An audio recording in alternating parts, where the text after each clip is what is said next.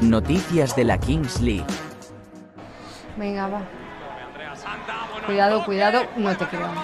¡Ey! No. ¡Ey! ¿La ha tocado, no? Con el balón en la mano. El reciente partido de la Queens League fue un desafío para Porcinas FC, ya que se enfrentó a El Barrio. Desafortunadamente, el resultado no fue favorable para el equipo, lo que resultó en una dura derrota. El partido concluyó con Porcinas FC sufriendo una dura derrota, con el marcador Porcinas 1 a 6 El Barrio. A pesar de la derrota, hubo momentos durante el partido que resaltaron el potencial y la habilidad del equipo. La determinación de perseverar durante el partido podría servir como una oportunidad de aprendizaje y un trampolín para éxitos futuros.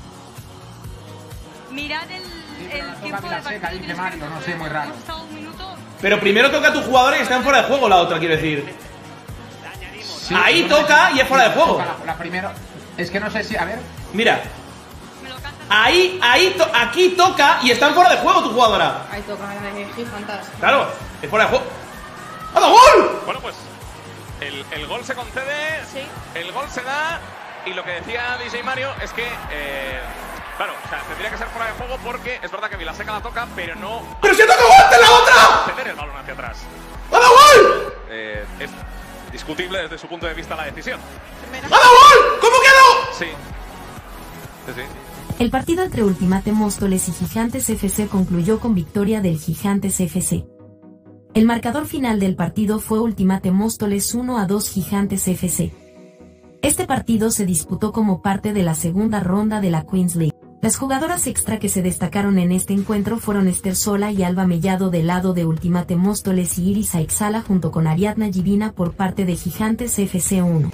Este resumen muestra la intensidad con la que se vivió cada momento del partido y como acciones cruciales, como las sanciones y los goles en momentos oportunos, definieron el resultado a favor de Gigantes FC. Ambos equipos demostraron gran habilidad y estrategia, pero fue Gigantes quien supo capitalizar mejor las oportunidades. ¡Minuto! ¡Pita! Pues ese ¡Pita! ¡Pita! Cumplido, pero parece que puede haber una más después de que hubiera el ¡Pita! ¡Pero pita! ¡Cago la puta! ¡Pero pita, hombre! Por último, el encuentro entre Axfire Team y Ultimate Móstoles fue un partido emocionante y equilibrado, concluyendo con un ajustado marcador de 5 a 4 a favor del Axfire Team. Durante el tramo final no se observaron goles, pero ambos equipos recibieron una tarjeta amarilla cada uno. La función gol doble permitió al Axfire Team aumentar su ventaja, aunque Ultimate Móstoles consiguió anotar en los últimos instantes del encuentro, agregando tensión hasta el pitido final. ¡No! ¡Qué desgracia, por Dios! ¡Y pita, hijo de... Mario, Mario, Mario, que te sancionan. No ha dado ni siquiera por el gol. No ha dado ni siquiera 30 segundos por el gol. ¿Pero por qué no dan más tiempo? No han dado ni 30 segundos por el gol, tú.